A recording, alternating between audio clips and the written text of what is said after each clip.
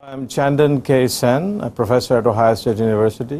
If you had this in your diet and your tissues were enriched in this, should you have a stroke, that you would be protected.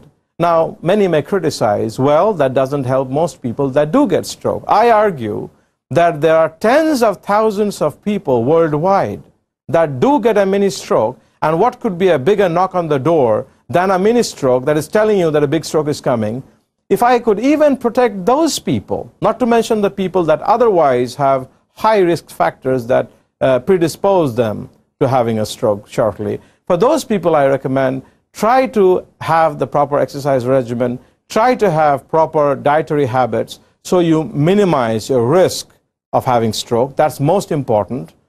And then if you can protect yourself, fortify yourself, if that's the right expression, that should I have stroke, let the damage be minimized. And along those lines, I think fortify myself with tocotrienol